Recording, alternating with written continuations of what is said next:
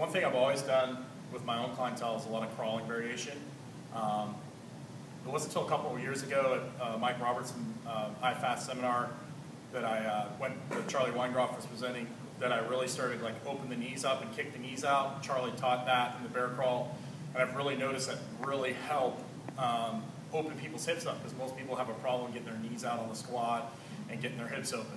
So I use a ton of crawling with my clientele, especially with my female athletes or female um, clients to help them control their pelvis. And I use it for myself kind of as an active recovery, pair maybe some, some, some bear crawls with some upper back work on an off day to kind of help recover and also help get my body moving the way it's supposed to. Um, what I do with people that are, that are new that really have a hard time is we just get them down on all fours and have them crawl with their knees and with their elbows, forwards, backwards. We can even go side to side, all that sort of good stuff. That's for people that have a little bit of a problem. You'll see it right away when someone doesn't do the bear crawl well. But for myself and for my other clients, we basically get into a nice all fours position, and I like to drive those knees out, okay? And I, when I crawl, I'm driving the knees out and keeping my core engaged. Forwards, backwards.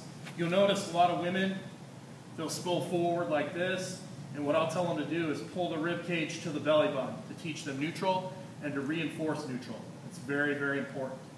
There's something magical about opposite arm, opposite leg. When you start doing this kind of stuff, you go cross body, good things start happening. Another variation that I use a lot for myself is on the back, like the old military style crawl, you're actually getting that scapular activated, driving that scapula, driving with the opposite leg, getting those scaps going, getting the glutes going.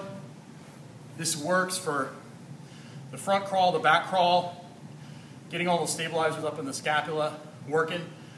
It also kicks your tail uh, as far as a conditioning standpoint if you need to add GPP. Crawls are great.